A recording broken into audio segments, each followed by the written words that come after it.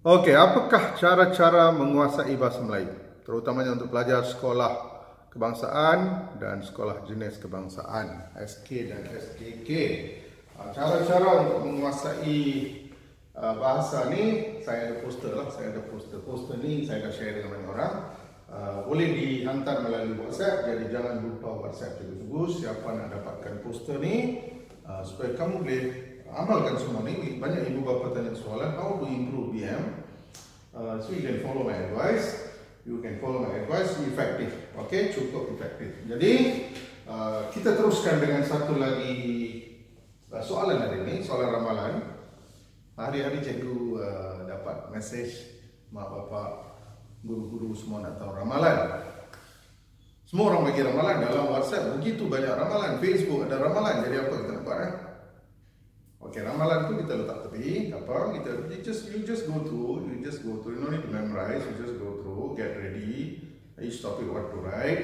Uh, kamu tak perlu bimbang sangat kerana kamu dapat dalam 8 hingga 10 idea karangan you will go to 80 to 100 words so 8 ideas is already good enough so you don't need to write very long okay jadi Um, bagi saya, saya lebih suka bagi teknik. Tak kira keluar soalan keluar macam mana, macam mana kita nak jawab. Okey, sekarang saya tunjukkan dua soalan. Katakan soalan tahun ini keluar, masa itu mas, anda diminta memberikan satu syarah. Syarahan ini sama dengan apa? Ceramah. Sama dengan apa? Ucapan.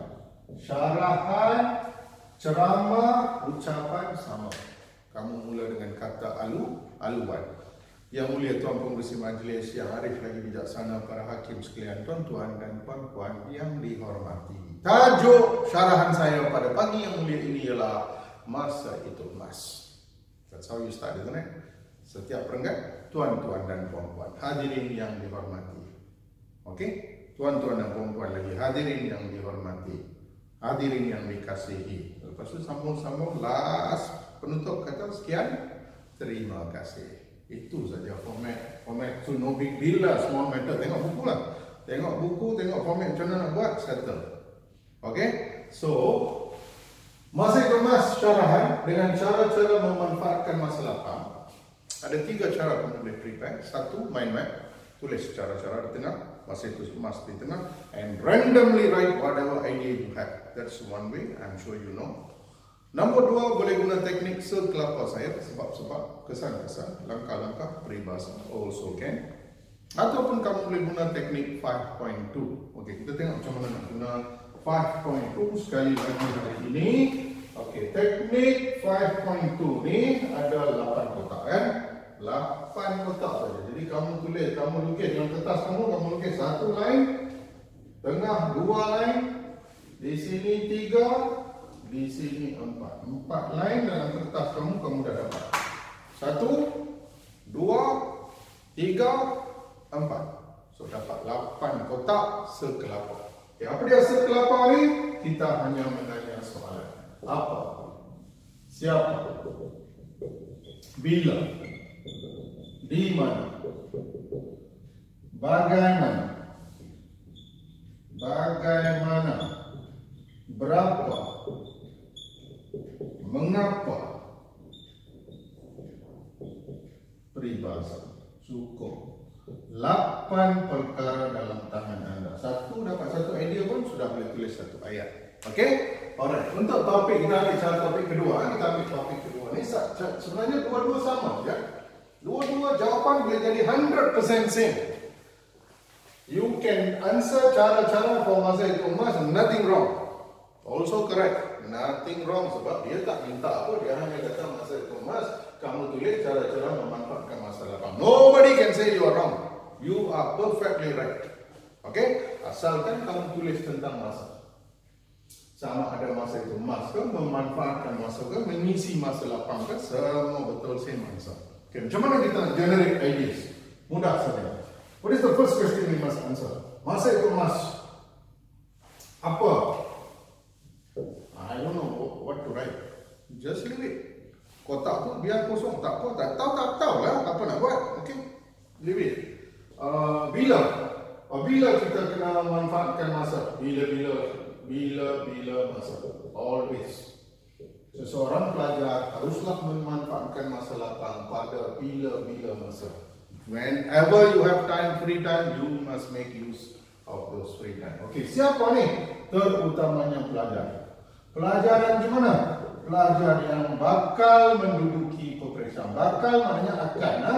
Bakal maknanya akan. Pelajar yang bakal menduduki peperiksaan seperti UPSA. Bagi contoh seperti UPSA, PT3, SPM, STPM semua boleh. Siapa kita dapat satu idea? Bila kita dapat satu idea? Di mana kita manfaatkan masa? Kamu boleh tulis di mana-mana jua.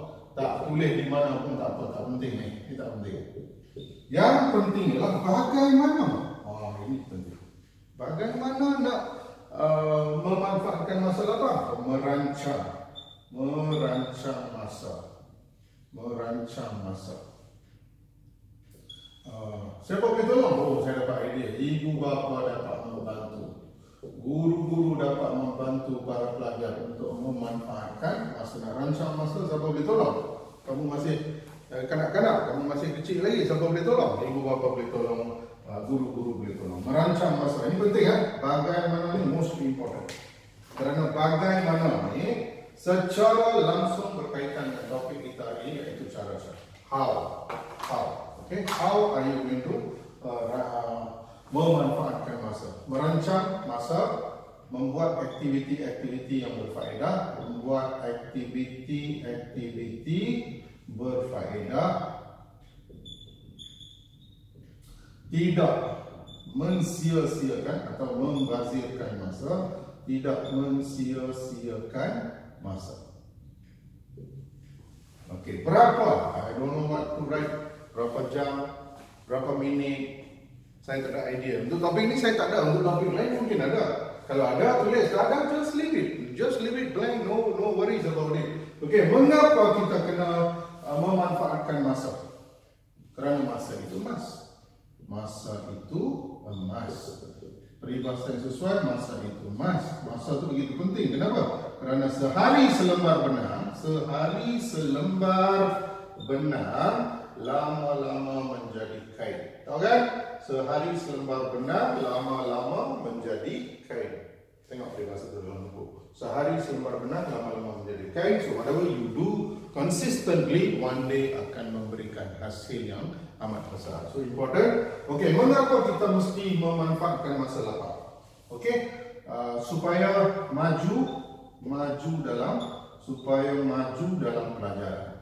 Okay, kita kena memanfaatkan masa lapang supaya maju dalam pelajaran, supaya berjaya dalam kehidupan, berjaya dalam kehidupan. Dipandang tinggi, kita kita tak sia-siakan masa, kita akan dipandang tinggi oleh orang lain. Orang lain tengok, oh dia respect kita sebab ni budak ni tak suka sia-siakan masa. Tengok, dengan menggunakan teknik 5.2, I told you before, teknik ini teknik 5.2, kita ada 5 kali W, what, who, when, where, and why. 5 kali W dan 2 kali H, how, and how much. Sebab tu saya kata 5W, 2H, saya letak 5.2.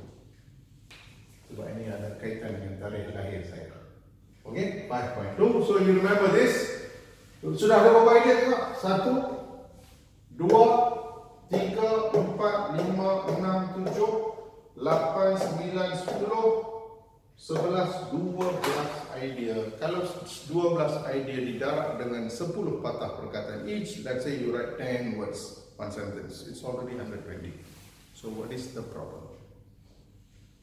what is the problem? There is no problem. Okay? Jadi, kamu boleh kembangkan, kamu boleh bagi contoh lain pada hari peperiksaan, kamu boleh tambah dan bagi contoh-contoh lain yang berkaitan dengan topik. So, message saya sekali lagi sangat penting ialah topik mungkin berbeza, tapi kita masih boleh tulis perkara yang sama. Sebab dia tak kata apa dia mau. Masa itu emas, syarahan, kamu bagi syarahan, masa itu emas. Dalam syarahan itu kamu kamu tulis dua perenggan cara-cara untuk mem, uh, mara- apa, memanfaatkan masa. What's wrong? Nothing wrong.